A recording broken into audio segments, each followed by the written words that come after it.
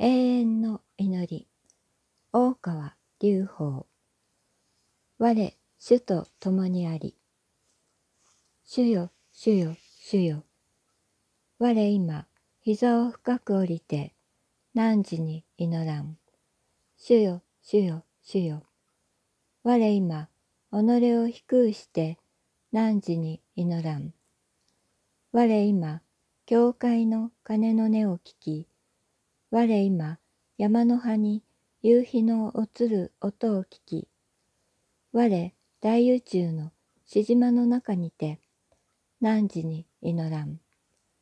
主よ、我は今、深き悲しみの中にあり、我は今、深き苦しみの中にあり、我は今、深き混迷の中にあり、我は今、大いなる挫折の中にあり、今、日が暮れんとするに、我が前に道なく、我が前に光なし、我、大いなる闇の中にて、一人沈まんとす。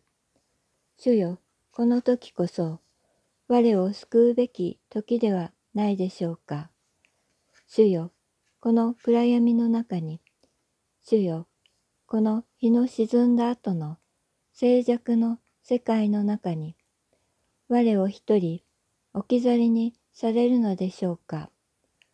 いや、主よ、あなたはそうした方ではないはずです。あなたはきっと迷子になった子供を親が探し求めるように、暗さの中で打ち震えている私に必ず大いなる手を差し伸べてくださることでしょう。ああ、主の足音が聞こえる。ああ、主の息遣いが聞こえる。ああ、主が手を伸ばしている姿が目に浮かぶ。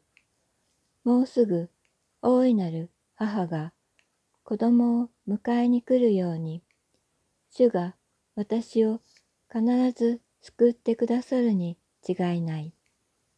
我、主と共にあり、我、主と共にあり、主、我を抱きて、我を遥かなる天空に連れて行くものなり、我、主と共にあり、我、主と共にあり、大いなる光に向けて飛翔するなり、我、主と共にあり、我、主と共にあり、主、我を知る、我、主を知る、主、我を知るがごとくに、我、主を知る、我、主を知るがごとくに、主、我を知る、主、我と共にあり、我、主と共にあり、共に一体として歩む。共に一体として進む。共に一体として空高く駆け上る。主、我と共にあり。主、我と共にあり。我と共にありて、幸せの彼岸に我を導くなり。